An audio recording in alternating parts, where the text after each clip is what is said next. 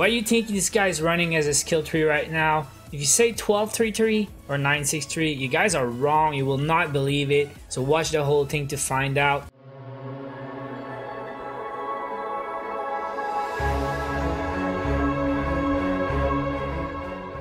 What is up guys, Johnny here. Once again, I'm back with more Shadowgun Legends and Masakrator is back on the channel today. He agreed to give me another interview yesterday I asked him a couple questions on Messenger and he agreed to answer all my questions. Masakrator is now number one on the leaderboard with over 13 million fame. If you watch my previous video with Masakrator, I just came across this guy randomly and I said he was a super cool guy compared to some other top players that I met in the past that were acting a bit like douchebags. This guy is very nice. He gave me an interview a couple months ago. It was a very nice one. He gave me lots of tips for new PvP players or players that want to get into PvP. If you inspect Masakrator's profile and you check his stats, you will see that out of his 13 million fame, it's almost half from PvP and half from PvE. He's got like almost 7 million fame from PvP, but another 6 million fame from PvE.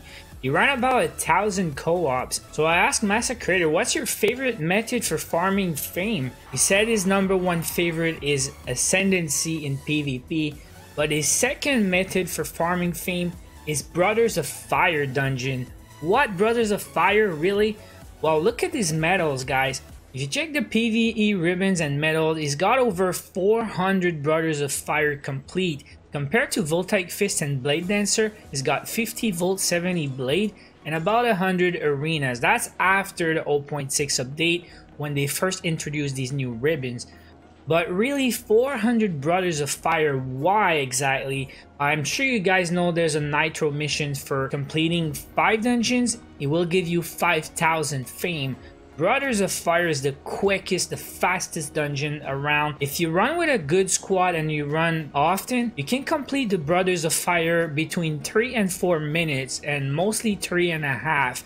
That's very quick. You'll do like 5 dungeons in about 20 minutes that is 5000 fame on top of the ribbons you get for completing the dungeons. Also, you get the ribbons for completing under 10. So you get double ribbons every time. On top of that, you'll get the A squad ribbons if your team don't die and a lot of other ribbons for using the skills and stuff like that. But if you just check the Brothers of Fire ribbon, if you do 400 dungeons, divide by 5, it's 80 times 5000 fame for free just for doing it. So just quick maths, but the Nitro missions for only the Brothers of Fire he did is probably around half a million fame just for the Nitro mission. But on top of that, you add all the other ribbons and the skill ribbons and the A squad ribbons that's a lot of fame, guys. So that's what they do in their free time. They run a bunch of Brothers of Fire. The thing that people like about Masakrator is this guy is 100% legit. And you can see he doesn't even have the casino ribbons. Masakrator spent over 52 days in the game. That's almost twice what I spent. And I thought I played a lot.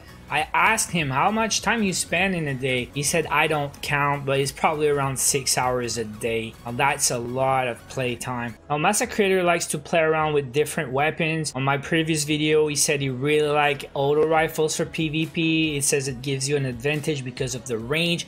I asked him last night, what are your favorite weapons now? And he said his favorite primary weapon is now the Plasma Blaster. I ran across him the other day, he was playing Plasma Blaster in PvP. His favorite secondary is now the Slate Shitstorm. Slate Shitstorm is widely available now because the drop rates were increased lately and Voltaic Fist is dropping a bunch of these. Very easy to get. If you played PvP lately, you probably noticed everyone's running Shitstorm right now. It's crazy. Now his favorite pistol is not the Ostrich, it's the Mother's Promise. He does not have it on his main account, but he has a secondary account. Believe it or not, he has time to play on two accounts. But he has the Mother's Promise on his other account, and he says it's his favorite pistol. I asked Masakrator what's his favorite game mode in the whole game. He said 100% Ascendancy. Now the best part, guys, I asked Masakrator if he wanted to share a screenshot of his skill tree and he agreed. He sent me a screenshot. You guys will not believe it. Look at that. Now this is Masakrator's skill tree right now. He sent me yesterday was just under 13 million fame. So you see this screenshot is very recent. 8 agility, 1 combat, and 9 survival. What not expected. This is definitely not one of the most popular builds right now. Everyone's running 1233 or 963. This is different from what we're used to see, but we can try to understand why, what are the advantage, what do you lose and what do you gain by using this skill tree. Now, 8 points in agility is very easy to understand. All the popular builds have at least 8 points of agility. Why? Because it gives you access to all the mobility skills the movement passive skill the reload speed skill. You also get the grease lightning to sprint faster but most importantly the one thing that you miss the most when you use the loot build is the reload while sprinting. This is super important. You don't want to start walking around just because you have to reload.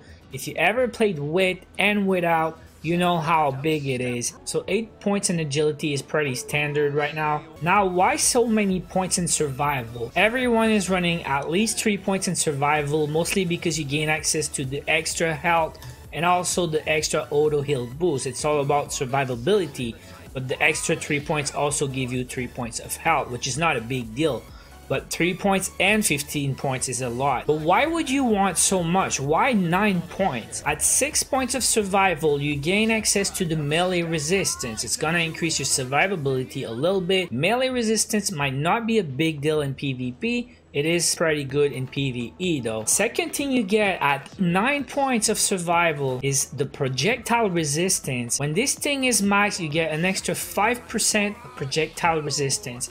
That means you take less damage from bullets, which is also good. That means you take less damage from bullets. So one more thing that might be overlooked is the flak jacket skill. When this thing is maxed out, you gain 25% resistance to explosions. You played PvP recently?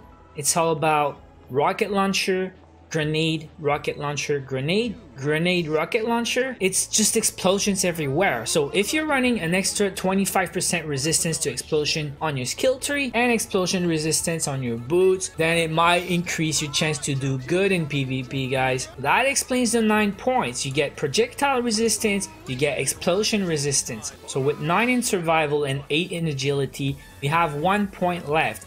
I guess you guys could try and put it pretty much anywhere you like. You could go agility for extra crit damage. You can go survival for just a little extra HP, but Masakrator decided to put one point in combat. Of course, it's not for the sentry gun. Nobody used that right now, but with 6 agility and 1 combat, you unlock the iron sight damage, which is very good in PvE if you're farming dungeon. I know some guys will also use it a lot in PvP, depends on your playstyle, but it is a lot of extra damage at the end. So that pretty much sums up the 819 build that Masakrator like to use so much right now. And I know this video will will probably change the meta a lot if everyone start running the extra explosion resistance. Grenades and rocket launchers will be much less effective now. Now last couple questions to Masakrator. I asked him, do you have a nemesis? What player you hate to face because he kills you a lot? And he said Bacon, or it spells 3-A-K-O-N. Bacon from the PvP guild. And I also asked him at the end what he would like to see change in the game. Masakrator is passionate about this game for sure, but like a lot of us, he said exactly the same thing we hear so many times. He says the game still have a lot of bugs, and every time they try to fix some bugs, um, new bugs appear which is uh, frustrating at times, of course. And I know a lot of you guys feel the same. But he feels the company maybe is not so consistent. And he said at the rate it's going, it might take years to see a full game that is fully functional. Well, gotta stay positive. I feel the game is doing so much better than it was six months ago. These top players are still playing after such a long time. They must be doing something right. I know there's a lot of good things coming soon to the game. It will be very refreshing to see the new gold Arena, all the new events coming every week. So that will be it already for today's video. Big shout out to Masakrator. Thank you so much for answering all my questions. It is really appreciated. It's a big help to the community. I'm sure this video will change the way people play the game. I would have liked to have him on the voice chat, of course, but you know, uh, as I said in my previous video, um, English is not his first language. He did not feel too comfortable uh, coming to the voice chat for an interview but he did agree to answer all the questions. So once again, thank you so much And thank you guys for watching. Hope you guys enjoyed the video. I did have a lot of fun making this one. So leave a like if you enjoyed. Make sure you subscribe to the channel for more Shadowgun Legends news, gameplay, and guides. I will be back soon. Until then, watch my other videos. Take care.